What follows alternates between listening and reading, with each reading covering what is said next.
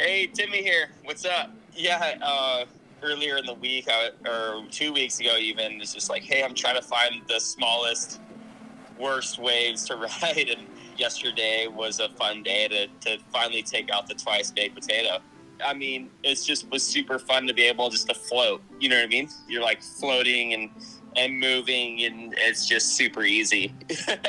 so that board, uh, the twice baked, was made in the Timbertek material, and I've I've actually been a fan of it. I've used it in small boards. I have some some big boards in it as well.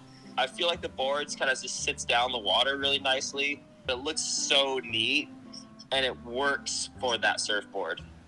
Yeah, I, I, I was a fan already of the baked potato. Um, and I previously used um, uh, quads in that one. And um, they seemed to work pretty good, but this board just seemed a little bit different. So um, I put the twin IPAs on there with um, a smaller um, set of quads in the back. So it was a different setup. I'm actually like interested to see what actually the Rob Machado fins would do on that board. My advice for surfing in Huntington is just try to stay away from people.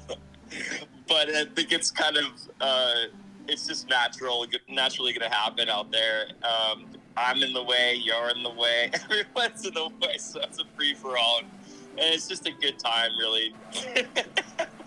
the twice baked is just good times and bad waves, and it's just a sick board to ride in general when it's not really surfable. Yeah, Dan Mann. Thanks, brother. You the man. Thanks for calling.